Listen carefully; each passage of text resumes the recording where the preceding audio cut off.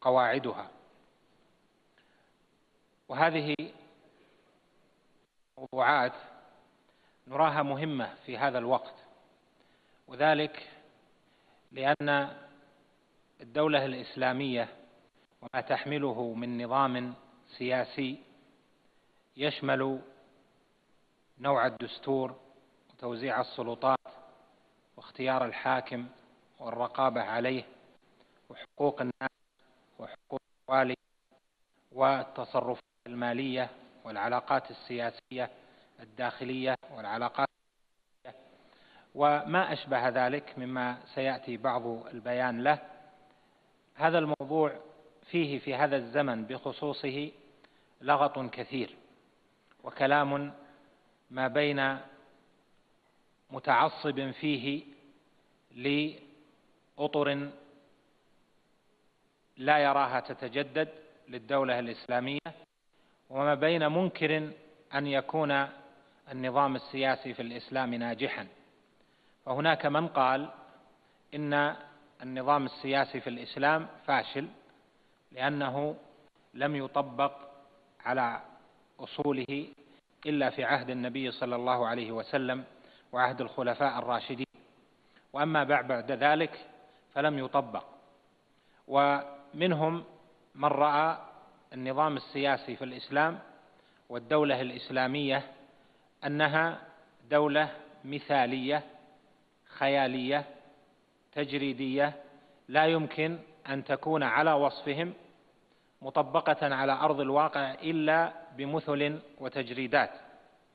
وبالتالي فإن هذه النظرة ستجعل الاتجاه إلى الدعوة إلى تأصيل وقوة الدولة الإسلامية وإلى الحث على القرب من النظام السياسي والنظرية السياسية في الإسلام للدول الإسلامية أنه محض نظر بعيد واستنبات للجذور للبذور في الهواء.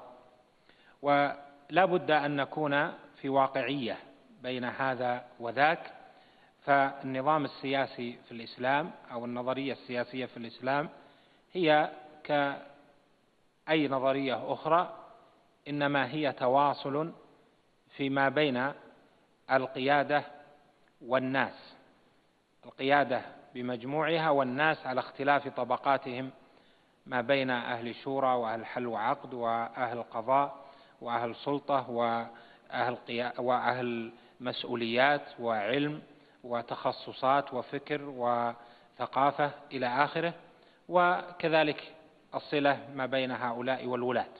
فلذلك فلا بد أن لا نذهب إلى المثالية فنجني على نظريتنا السياسية للإسلام ويجب أن لا نكون أيضا مجحفين بالقول بأن الإسلام ليس دين سياسة وإنما هو دين كان لفترة قصيرة ولي السياسة وما بعد ذلك تحول إلى ملك لم تطبق فيه أصول السياسة الإسلامية. هذا الموضوع صعب أن نبحثه في مثل هذه الجلسة وهذه العجالة لأنه طويل ومتصل ببحوث كثيرة لكني سأعرض عرضا مجردا سريعا لبعض المفاهيم حول أصول النظرية السياسية في الإسلام أو للدولة الإسلامية وبعض المقدمات لذلك. يمكن أن نتحدث عن هذا الموضوع عبر عدة عناصر منها أهمية الحديث النظام السياسي أو النظرية السياسية للدولة الإسلامية تعريف النظرية السياسية حاجة المجتمعات إلى القوانين السياسية. الإسلام دين ودولة. الفرق ما بين نظام الإسلام السياسي والنظريات السياسية الأخرى أو الأنظمة السياسية الأخرى.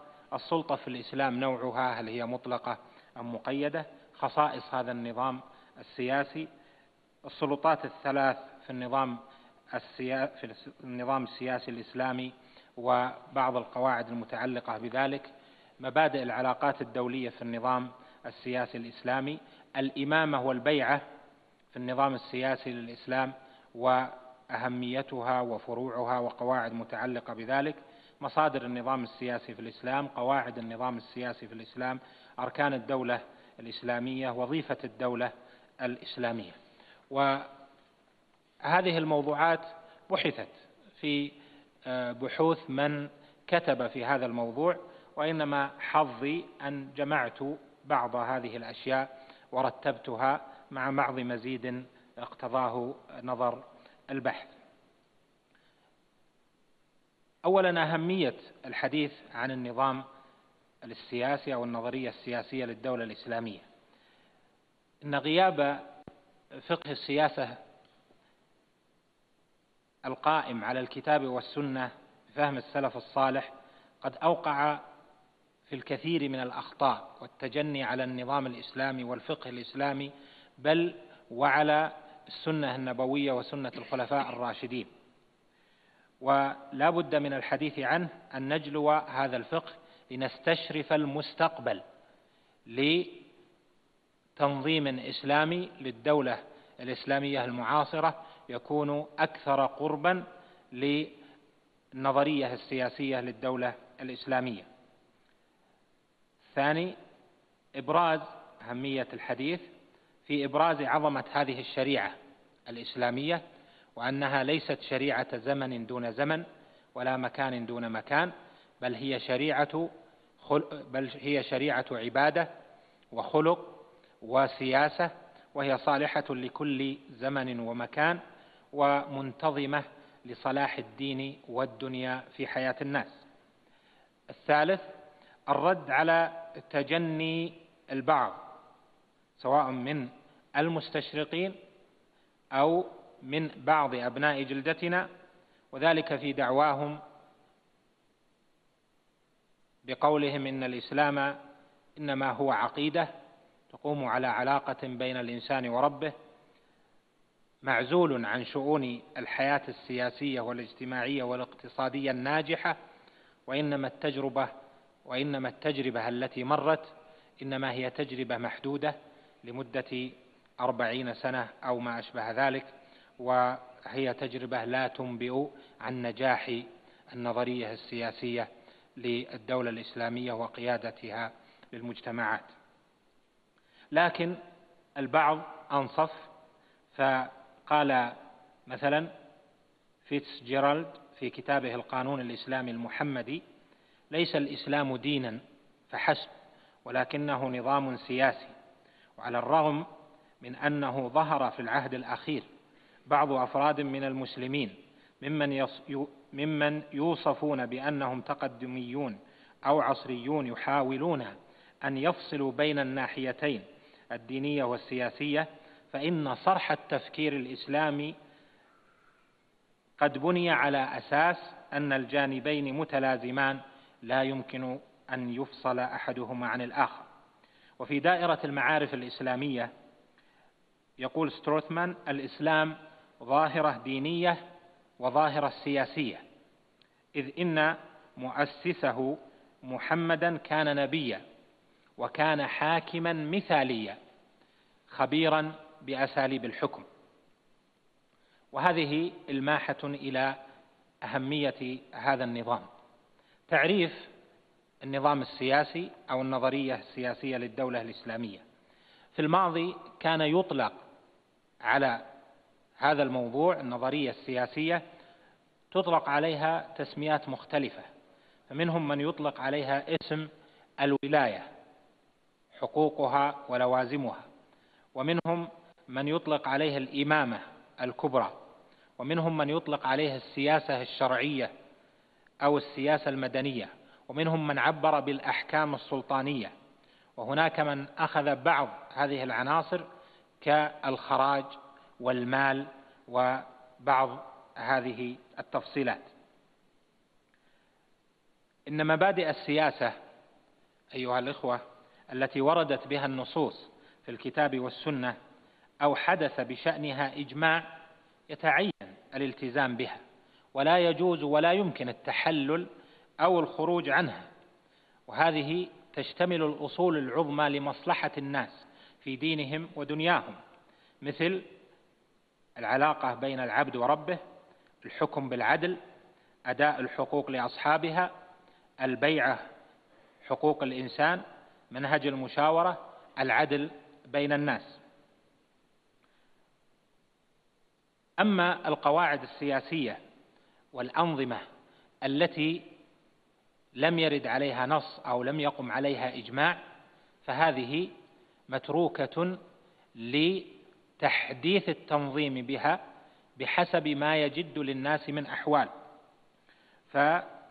فالقواعد والأنظمة إنما هي راجعة إلى المصالح المرسلة التي لم يأتي حد بتحديدها في الشرع ولا فيما أجمع عليه أهل العلم فهي مطلقة من أن يتقيد بتجربة ماضية فيها في أي دولة مرت لأن الغرض من الدولة إنما هو القيام بمصالح الناس وإذا كان كذلك قد يترتب على هذا إحداث الأنظمة أو تغيير بعض القواعد أو تغيير بعض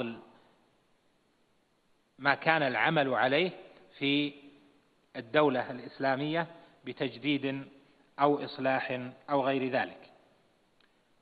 السياسة جاء ذكرها في النصوص الشرعية بمعنى الحكم والقيام بالأمر. كما ثبت في الصحيح أن في الصحيحين أن النبي صلى الله عليه وسلم قال كانت بنو إسرائيل تسوسهم الأنبياء. قال ابن الأثير في النهاية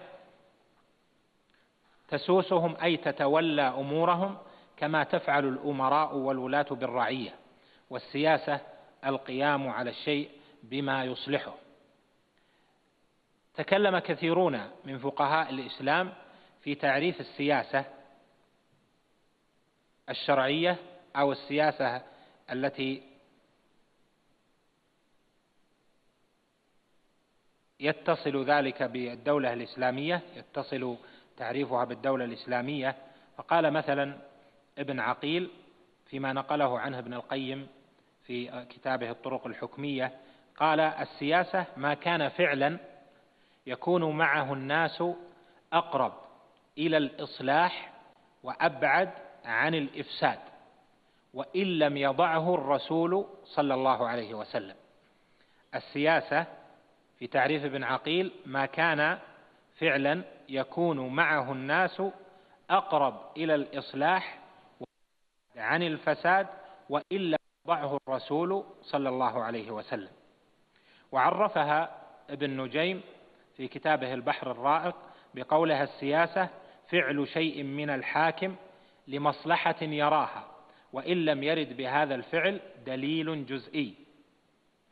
وعرفها الأستاذ عبد الرحمن تاج من مشايخ الأزهر المشهورين بأنها الأحكام التي تنظم بها مرافق الدولة وتدبر بها شؤون الأمة مع مراعاة تكون متفقة مع روح الشريعة نازلة على أصولها الكلية. وهناك عدة تعريفات في هذا الصدد تدور حول هذه المعالم. فالسياسة إذن تعتمد على يعني السياسة للدولة الإسلامية تعترف على ما به تعتمد على ما به صلاح الدولة وهو أن تكون الدولة أقرب إلى الصلاح والإصلاح وأبعد عن الفساد أو الإفساد. ولذلك تحدث كثيرون في معالم الحكم الصالح وأقيمت بعض الندوات مؤخرا عن الحكم الصالح قواعده معاييره. هناك أحكام تقوم على الجزاف أحيانا في الحكم على شيء ما بأنه صالح أو أنه فاسد أو على حكم ما أو على نظرية ما أو على تجربه ما أنها صالحة أو فاسدة أو على دولة بأنها دولة فيها الحكم صالح أو فيها الحكم غير صالح. ولكن لا بد من معايير وقواعد ينبني عليها النظر في هذا الأمر حتى تتفق السياسة الشرعية في تنمية الصالح في الحكم وفي تقويته وفي تثبيت هذا الصالح وفي النظر إلى ما فسد بإزالته أو إصلاحه أو إبعاده إلى آخره. وحركة الإنسان في الدولة سواء كانت حركة حاكم والي أو حركة مجتمع هي حركة بشرية. لا يمكن أن ننظر إلى صاحب الولاية بأنه بعيد عن بشريته وله الحق المطلق وله الصواب المطلق. وكذلك لا يمكن النظر إلى الناس بأنهم أصحاب حق مطلق أو نظرة صحيحة مطلقة. ولذلك جاءت السياسة في الشريعة الإسلامية بأنها لم تعطي الحاكم أو الوالي ولي الأمر الذي له البيعة الإمام لم تعطي له حقا مطلقا وكذلك لم تعطي للناس حقا مطلقا وإنما كان حق الحاكم مقيدا وكذلك حق الناس مقيدا والصلة ما بينهما فيما فيه إصلاح الدولة وإصلاح الناس في أمور دينهم وفي أمور دنياهم. السياسة الشرعية لا تقف على ما نطق به الشرع وإنما نشترط لها ألا تخالف نصوص القرآن والسنة وإجماع الأمة وقواعد الشريعة التي ترجع إلى ما جاء في القرآن أو السنة أو الإجماع مما كان ظاهر الدلالة غير مجمل أو مؤول. قال ابن القيم رحمه الله ومن قال لا سياسة إلا ما نطق به الشرع وابن القيم من أئمة الدعوة السلفية قال ابن القيم رحمه الله ومن قال لا سياسة إلا ما نطق به الشرع فغلط وتغليط للصحابة أيضا. وهذا موضع فرط فيه طائفة وجعلوا الشريعة قاصرة لا تقوم بمصالح العباد بل جعلوا الشريعة محتاجة إلى غيرها من الشرائع. فلما رأى ولاة الأمور ذلك أحدثوا من أوضاع سياساتهم شرا طويلا وفسادا عريضا فتفاقم الأمر وتعذر الاستدراك. فإن الله سبحانه أرسل الرسل وأنزل الكتب ليقوم الناس بالقسط وهو العدل. فإذا ظهرت أمارات القسط وهو العدل وأسفر وجهه بأي طريق كان فثم شرع الله وثم دينه.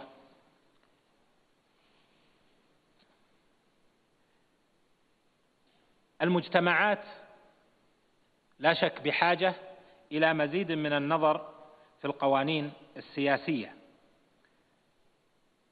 يقول ابن الربيع الناس مضطرون إلى تدبير وسياسة وأمر ونهي. ويقول العلامة ابن خلدون إن الاجتماع الإنساني ضروري ويعبر الحكماء عن هذا بقولهم الإنسان مدني بالطبع. أي لا بد له من الاجتماع الذي هو المدنية في اصطلاحهم. ثم هذا الاجتماع إذا حصل البشر فلا بد من وازع يدفع بعضهم عن بعض فوجب أن يرجع في ذلك إلى قوانين سياسية مفروضة ينقادون إلى أحكامها. إلى آخر ما قال. الإسلام دين ودولة. الإسلام نظم العلاقة بين العبد وبين ربه فبين الله جل وعلا العقيدة حق الله سبحانه وتعالى وما له بتوحيده وعبادته وحده لا شريك له وما له سبحانه وتعالى من الأسماء والصفات والأفعال الحسنى والأحكام الشرعية التفصيلية فيما يتصل بحياة الناس. ولكنه أيضا دين متعلق بالدولة والأنبياء كثير منهم نظموا شؤون دولهم.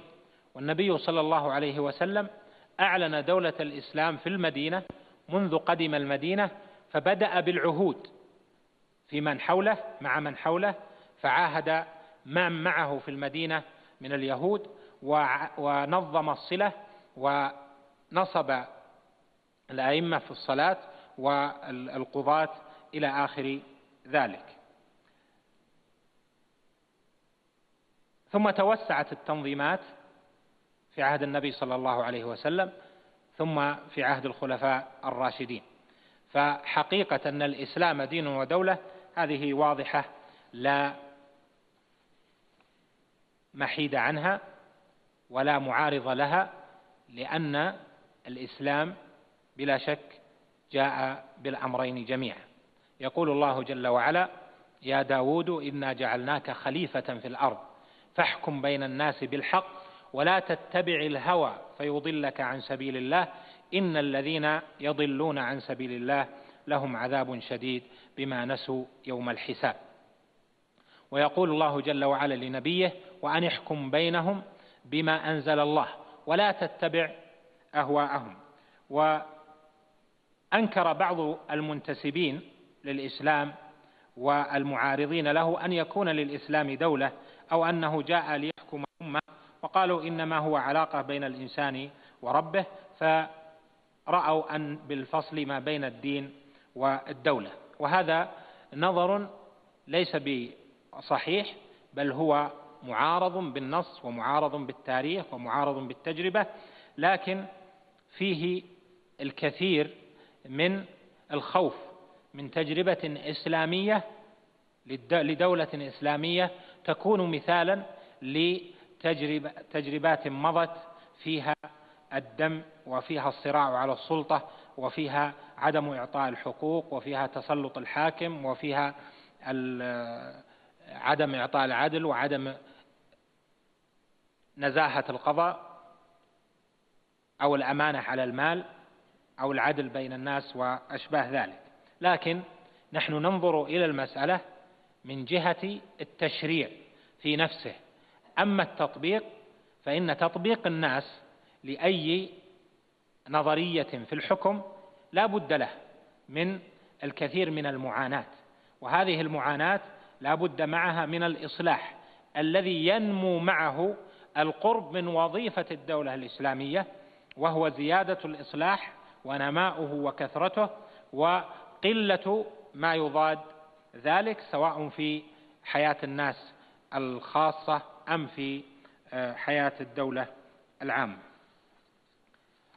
لا شك أن الإسلام تميز بالكمال والشمول.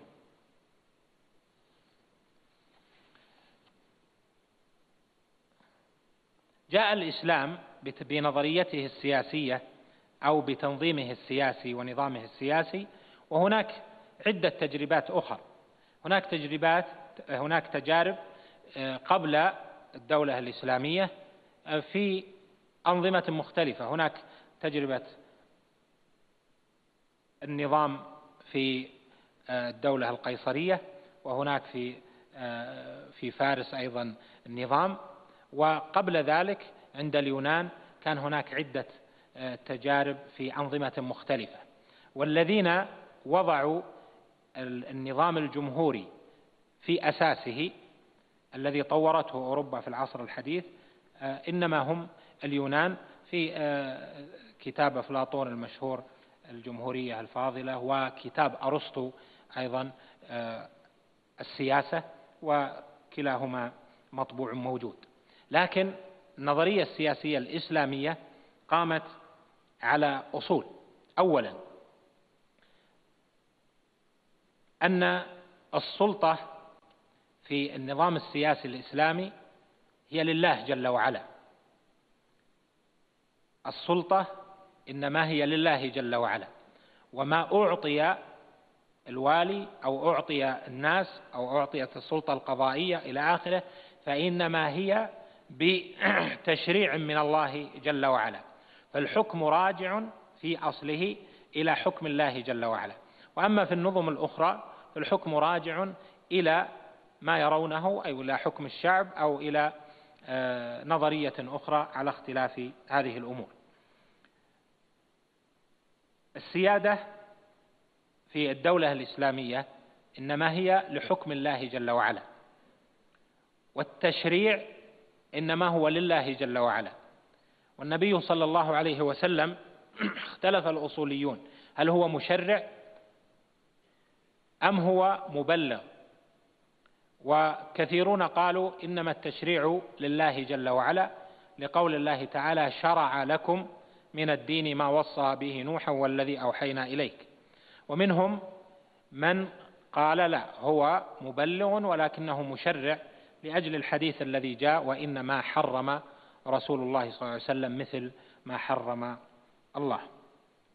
وعلى العموم فالسلطة التشريعية بأنواعها راجعة إلى حكم الله جل وعلا وليس إلى حكم الناس. ولذلك نفرق كما سيأتي في الدولة الإسلامية ما بين السلطة التشريعية والسلطة التنظيمية. فما كان من جهة التشريع الذي هو مبني على نص في القرآن أو السنة ظاهر الدلالة غير مجمل ولا مؤول أو ما كان عليه إجماع فهذا تشريع لا محيد عنه. وما كان من قبيل الاجتهاد فهذا يمكن أن يسمى السلطة التنظيمية.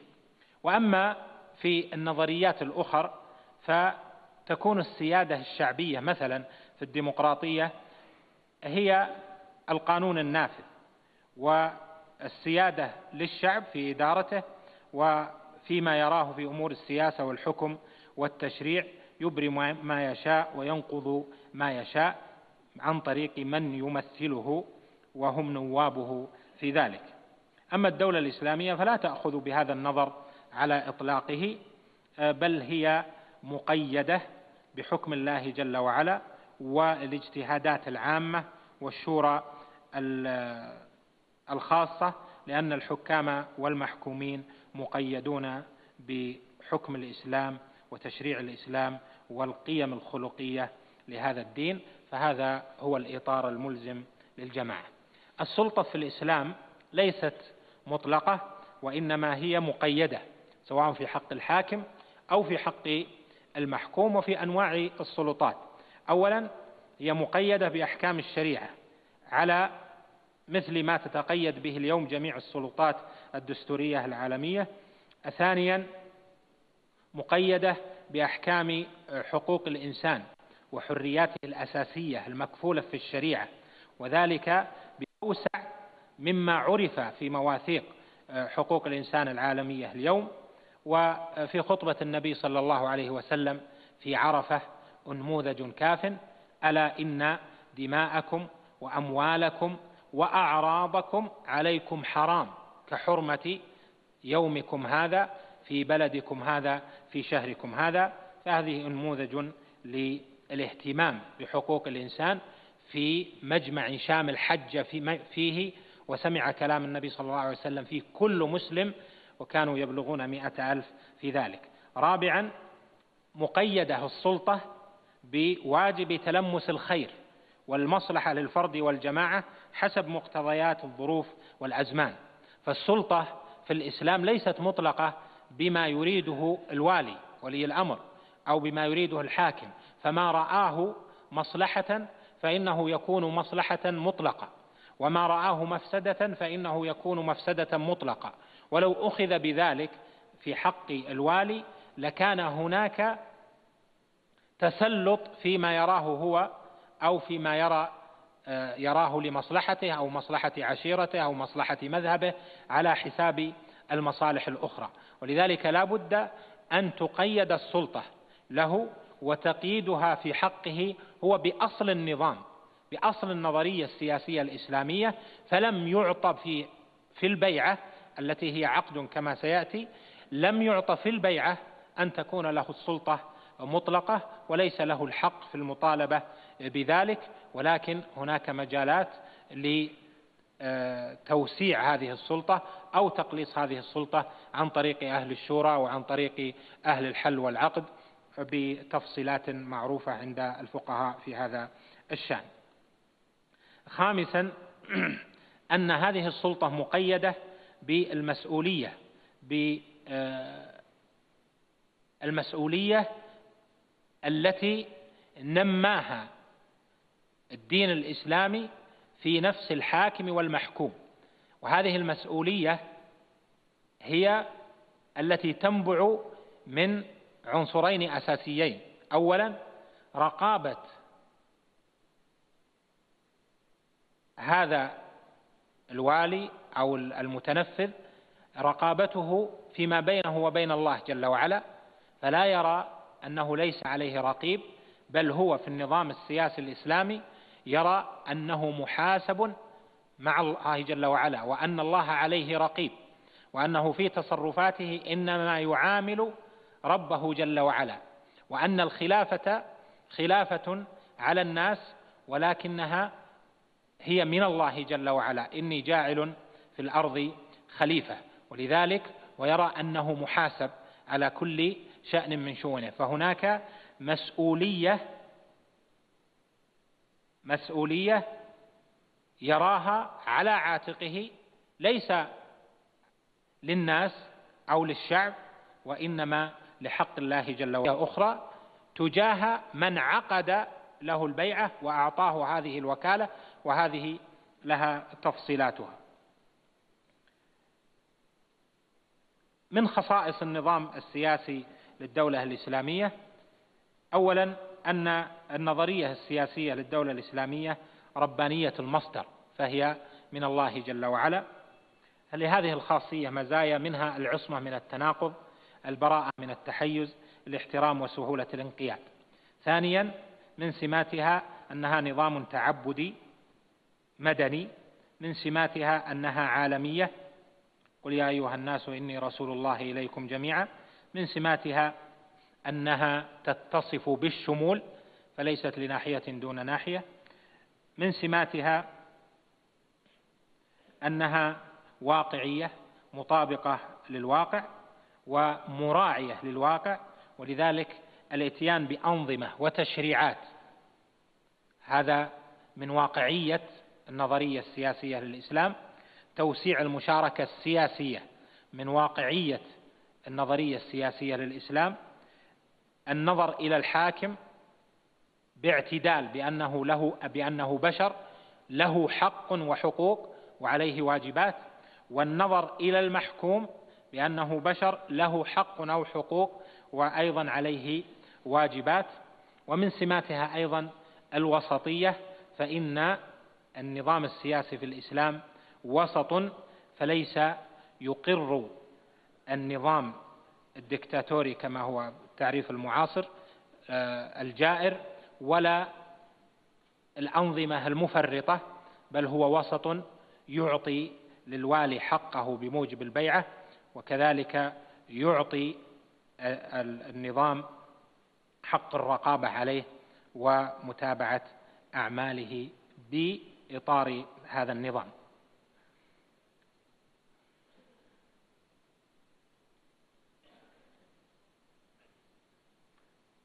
قد يطول بنا الحديث في عدد من النقاط لكن نذكر بعض العناصر الأخرى. العلاقة الدولية في النظام السياسي للدولة الإسلامية العلاقات الدولية مطلوبة لأن الدولة الإسلامية ليست دولة منعزلة عن الناس بل وظيفة الدولة الإسلامية أن تقدم النموذج الكامل لشرع الله جل وعلا حتى يتسع النظر والاقتناع بهذا النموذج في العالم. وبالتالي فإن العلاقات الدولية في النظرية السياسية الإسلامية ليس الهدف منها أن يكون هناك أمن فقط ما بين الدولة الإسلامية والدول الأخرى وإنما يكون فيها الأمن العقدي الأمن التشريعي وكذلك الأمن البدني على الناس في مصالحهم. فليس المقصود من هذه العلاقات إنما المقصود المدني فقط وإنما نشر الدعوة الإسلامية هو ثمرة من ثمرات النظام الإسلامي في العلاقات آه، الدولية. ولذلك النبي صلى الله عليه وسلم لما خاطب وأرسل الرسائل لملوك الأمصار راعى هذه المسائل بل كانت ظاهرة في رسائله عليه الصلاة والسلام. مبادئ هذه العلاقات آه، الدولية في النظرية السياسية الإسلامية أولا العدالة في العلاقة وأنه لا يمكن أن نأخذ بصنيع قوم أو بكفرهم على أنهم لا يعدل معهم. يقول الله جل وعلا اعدلوا هو أقرب للتقوى. إن الله يأمر بالعدل والإحسان وإيتاء ذي القربى. أيضا من من المبادئ المساواة من المبادئ الوفاء بالعهود والمواثيق. يا أيها الذين آمنوا أوفوا بالعقود. ويقول جل وعلا وأوفوا بالعهد إن العهد كان مسؤولا. بل لأجل رعاية هذه العهود ورعاية هذه المواثيق لم يجز الله جل وعلا أن آه، أو لم يوجب الله جل وعلا أعيد العبارة لأجل رعاية هذه المواثيق لم يوجب الله جل وعلا أن ننصر مسلما ضد غير المسلم إذا كان هناك عهد وميثاق مع غير المسلم. كما قال جل وعلا وإن استنصروكم في الدين فعليكم النصر يعني من المسلمين إلا على قوم بينكم وبينهم ميثاق. فالوفاء بالعهود والمواثيق من أصول هذه العلاقات الدولية. الأمر الرابع التعاون الذي هو سمة لإعمار الأرض الذي جعله الله جل وعلا منة على عباده. الله سبحانه وتعالى امتن على عباده بقوله واستعمركم فيها وجعل الإنسان خليفة ليعمر الأرض ولينتشر فيها. فمن أصول أو قواعد هذه العلاقات الدولية أن يكون هناك تعاون لما فيه صلاح الإنسان وبما فيه المصلحة العامة للدولة الإسلامية.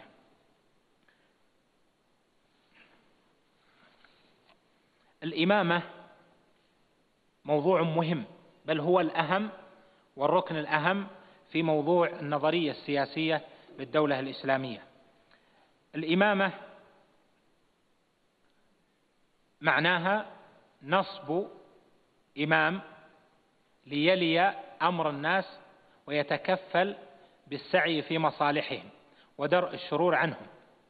لذلك الإمامة هي علاقة ما بين الناس وبين ولي أمرهم.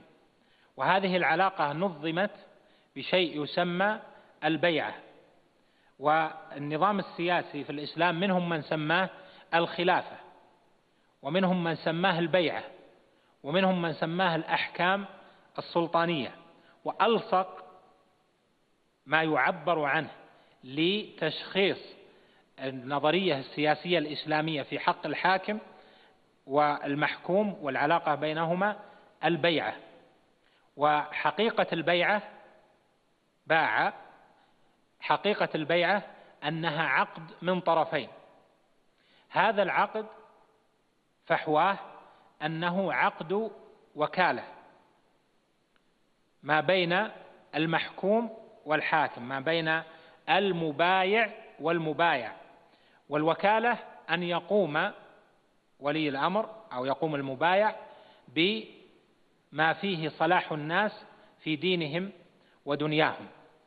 ولذلك فإن هذا العقد عقد البيعة فيما فيه صلاح الناس وكالة من كل الناس لولي الأمر. فيجتمع يجتمع النظر بمقتضى هذه البيعة في ولي الأمر. وكما ذكرنا لك فيما قبل أن الأصل أن ولي الأمر في الإسلام أن يكون عنده من الرقابة الذاتية والخوف من الله جل وعلا والاستعدادات ما يكون قائما بهذه بمقتضى هذه الوكالة ومفنيا نفسه في مصلحة الناس بعيدا عن مصالحه الذاتية أو عن مصالح فئته الخاصة. وهذا هو الأصل وتجتمع فيه بمقتضى البيعة هذه الأمور وقد ينقص عن ذلك بمقتضى الطبيعة البشرية. فلا بد من قيام أهل الشورى من قيام أهل الحل والعقد من قيام أهل النصح من أهل الأمر بالمعروف والنهي عن المنكر من قيام أهل العلم أهل الفقه. لا بد من القيام بتسديد النقص أو العوارض البشرية التي تأتي للحاكم. فالأمر مجتمع فيه. فلذلك السياسة مردها للحاكم. فما رآه الحاكم فإنه ينفذ باعتباره وكيلا عن الناس وهم أعطوه السلطة لرعاية مصالحهم.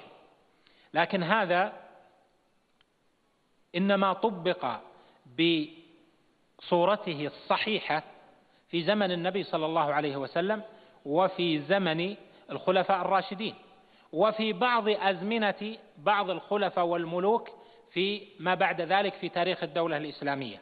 ولكن في كثير من الأحيان كان هناك سوء استغلال لهذه لهذا العقد ولهذه السلطة السياسية المطلقة المعطاة لرعاية مصالح الناس آه، للحاكم أو لولي الأمر أو للإمام. وبالتالي فإن اجتماع هذه باجتماع السلطة السياسية فيه يجعل النظر يتجدد في أنه لا يحسن أن يكون مستقلا بأنواع السلطة السياسية. فالحق له بمقتضى البيعة فلذلك لا بد أن يعطي هذا الحق لتبرأ ذمته.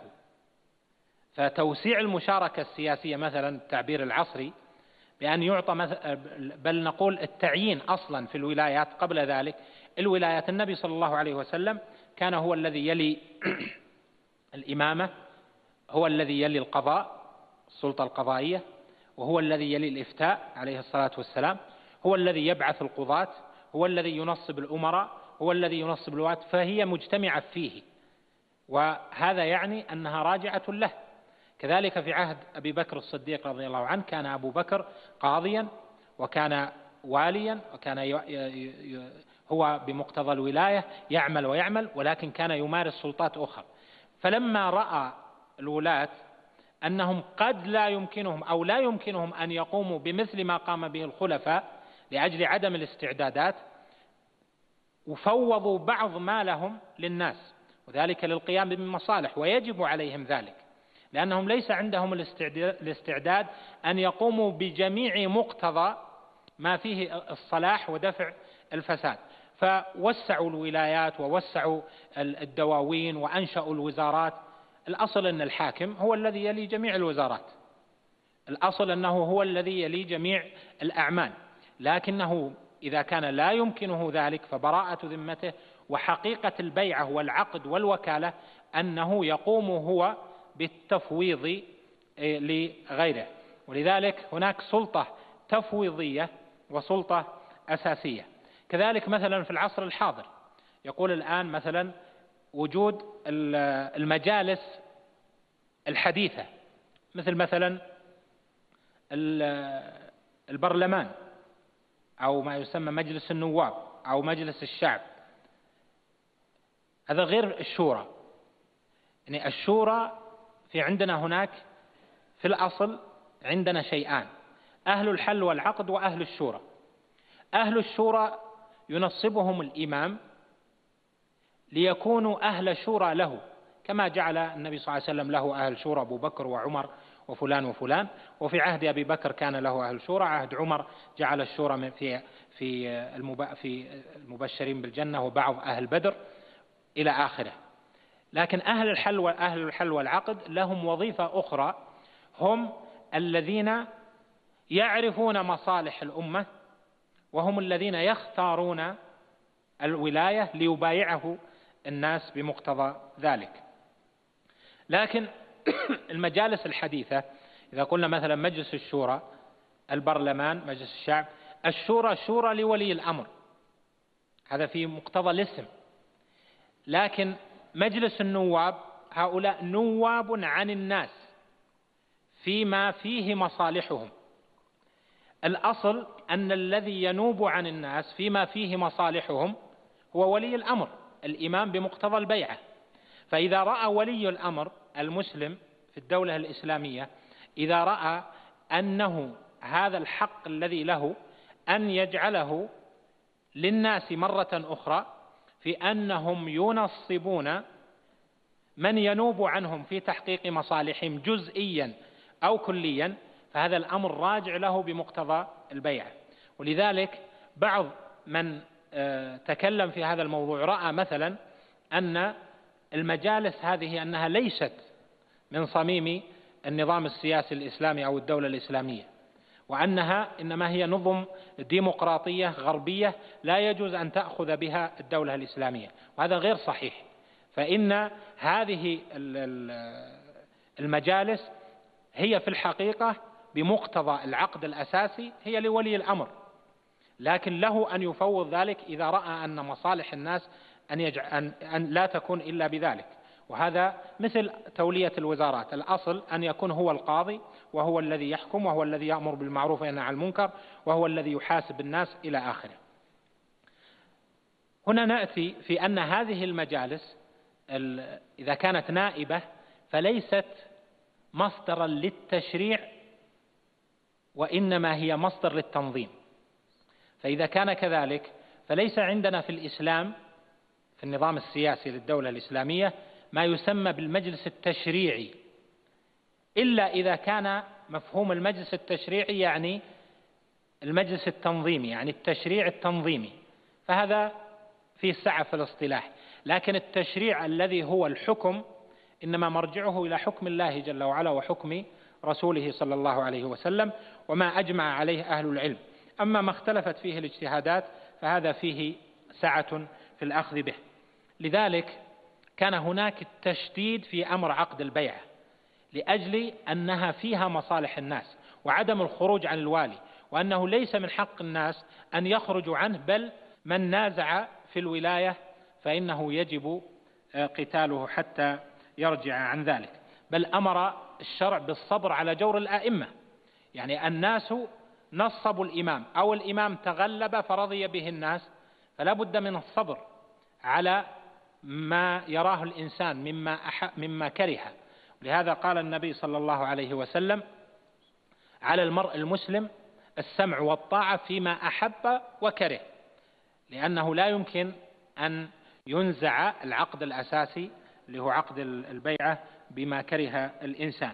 ويقول شيخ الإسلام ابن تيمية في هذا الأمر والصبر على جور الأئمة أصل من أصول أهل السنة والجماعة. لذلك هنا تأتي ثنائية النظرية السياسية في الإسلام. الصبر والسعي في الإصلاح. وهذه اجتماعها في المفهوم السلفي الذي طبق في عهد الخلفاء الراشدين وفي بعض العصور للدولة الإسلامية. فليس شرطا لصحة الدولة الإسلامية أن لا تقع الدولة في أخطاء أو أن لا يكون فيها أنظمة قاصرة أو أن لا تكون متخلفة في بعض الأمور. وإنما لا بد أن يكون الإطار فيها والتشريع والتنظيم إسلاميا ثم ما بعد ذلك يصلح مع الزمن ويطور مع الزمن. لذلك المشاريع الإصلاحية التطويرية السياسية أو الاقتصادية المالية أو المشاركات هذه لها رصيدها في النظرية السياسية للدولة الإسلامية. أما المال فإن ولي الأمر ليس إلا وكيلا للمسلمين على مال المسلمين. ولذلك الخزانة سميت في الفقه الإسلامي ببيت مال المسلمين. بيت مال المسلمين. ليس هو بيت مال الدولة ليس بيت مال ولي الأمر وإنما هو بيت مال المسلمين وولي الأمر مسترعا عليه. وهنا تأتي الرقابة الوزارات الرقابة على الجهات الاحتساب على آه، الأسواق ونحو ذلك هذه من صميم النظرية السياسية للدولة الإسلامية. فليس الحاكم منزها عن الرقابة. ولا منزها عن المحاسبة ولكنها محاسبة ورقابة ممن يعطون ذلك وليس من عامة الناس وهم أهل الحل والعقد وأهل الرأي بالطريقة الشرعية التي تحقق المصلحة وتدرى المفسدة. هناك والوقت يزاحمنا هناك من يظن أن الوالي فيما يفعله في المال بأنه مخول مطلقا. دون رقابة فيما يرى فيه المصلحة. وهذا أحد القولين عند أهل العلم. ذلك أن النبي صلى الله عليه وسلم أتاه رجل واحد فأعطاه غنما بين جبلين وهي تغني قبيلة وتغني أمة ولكنه أراد به مصلحة متحققة له عليه الصلاة والسلام. أبو بكر وعمر رضي الله عنهما رأيا أنهما يعني فيما ساسى به بيت مال المسلمين أنه إنما يعملان فيه بما فيه مصلحة المسلمين. وأما بمثل هذا الإطلاق فإنما كان للنبي صلى الله عليه وسلم لما يراه مقام النبوة فيما فيه الصالح. ولكنه لما جاء زمن عثمان رضي الله عنه عثمان رضي الله عنه رأى أنه على ما رآه النبي صلى الله عليه وسلم. فيما يرى فيه المصلحة سواء كانت مصلحة قريبة أو مصلحة بعيدة.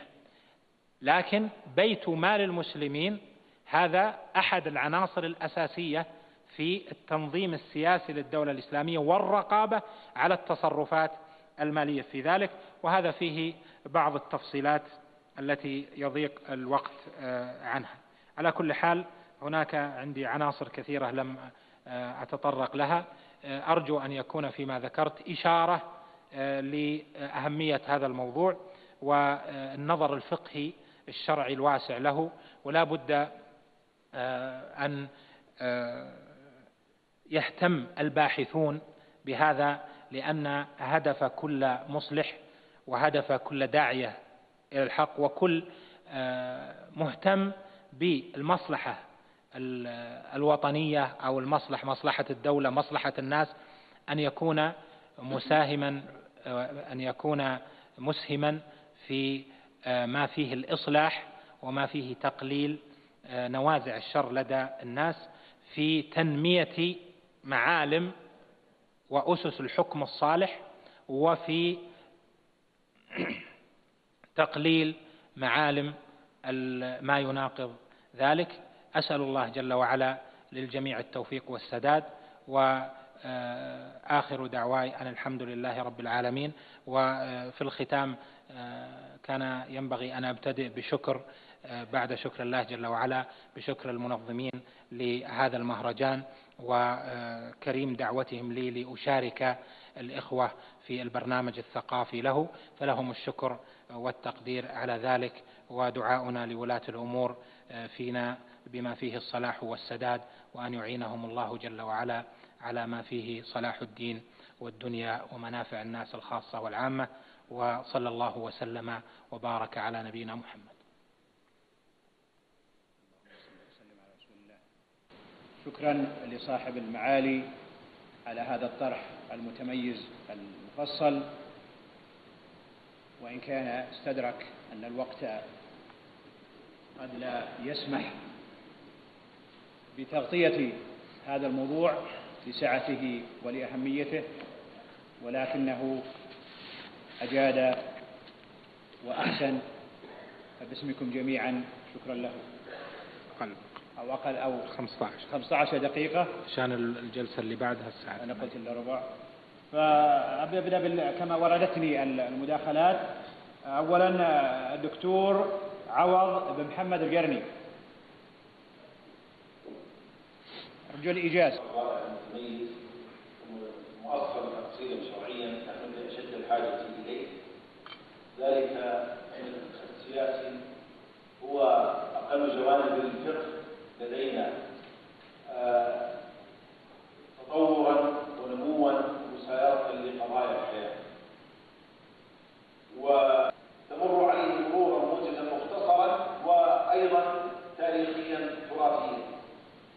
وأحب أن أشير إلى بعض النقاط بشكل سريع. ظني أن بعيدا عن التنظيم نعاني من الناحية العملية في العالم الإسلامي قصورا في هذا الجانب. حتى أصبحنا نسلط بألسنة الحجاج من ثقافات أخرى وحضارات أخرى عن الأسباب لهذا هذه المشكلة التي نعاني منها. ولذلك هناك العديد من القضايا التي هي من الناحية العملية تحتاج إلى أن تطرح ويبث فيها ونصل فيها إلى رأي شرعي أصيل وما زال الجدل حولها صاخبا ولم يقل فيها حملة الإسلام والدعاة السؤال اللي تفضل به الدكتور محمد البشر صحيح أو الإشكال صحيح؟ ولذلك تارة نعبر بالنظام السياسي وبالنظرية السياسية. أما كونها نظرية فنعم هي نظرية. وكونه النظام نعم هو نظام. نظرية من حيث إن أصول التشريع السياسي إذا صح التعبير أو فقه السياسة كما عبر أخي الدكتور عوض. هذا موجودة في النصوص لكن تفصيلاتها اجتهادية أكثر التفصيلات في كتب أهل العلم فيما يتعلق بالسياسة آه، في الإسلام كلها اجتهادية.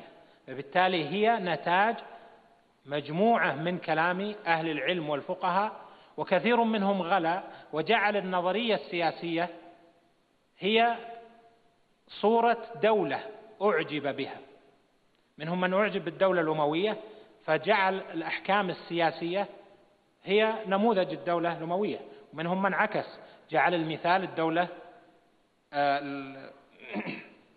العباسية ومنهم من جعل إلى آخره. نحن نتكلم عن الإسلام بعمومه. نتاج اجتهاد كبير لا يمكن أن يحد بدولة ولا يمكن أن يحد بمذهب ولا يمكن أن يحد بالبلد ولا يمكن أن يحد بتاريخ وإنما هذه الجهود الكبيرة الكثيرة من علماء الإسلام ومن فقهاء الإسلام ومن الباحثين والمحققين في مثل هذه المجالات الدقيقة هي آه، تراكمات لفكر طيب في هذا الصدد. ولذلك يصح أن نقول إن السياسة في الإسلام كثير منها نظريات لأنها اجتهادات وليست نصوص. لكن مفهوم البيعة أسيء فهمه بأن البيعة معناها أن يستقل بها عن أي مشاركة ليس كذلك.